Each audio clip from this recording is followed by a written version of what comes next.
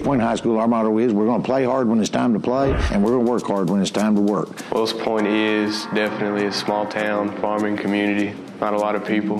Many of our students at Wills Point High School live on farms and ranches, and sometimes it spills into the school. Coach Lamb, could you please take a look at the screen?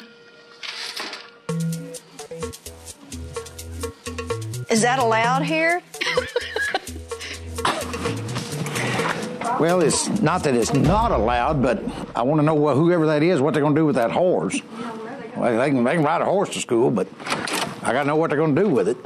Apparently, what's happening is a student is riding their horse across the parking lot, and I need to go find out why. Wow. Whoa, whoa, whoa, baby, whoa, whoa, whoa. Ashley, come here, pumpkin.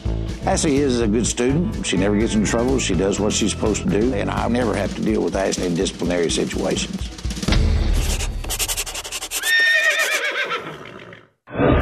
Ashley, what are you doing riding your horse up here, baby? This is my means of transportation today. Well, you mean to try what? I mean, what happened? My car would not start this morning, and this was the only way I could get to school.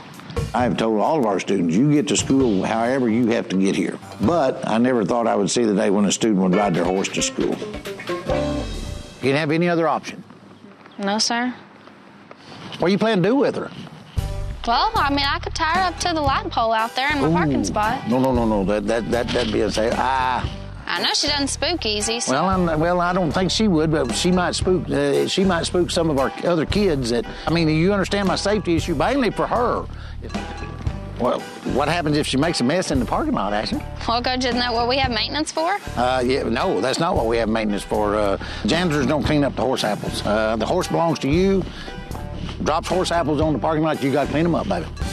Coach, am I in trouble for this? Absolutely not, baby. Absolutely not. There's nothing wrong with it. There's no no policy against it or anything like that. But I'll tell you what. Let me talk to the ag department and see if we can get her a stall out in the out in the show barn. Okay? Get her on out there with her.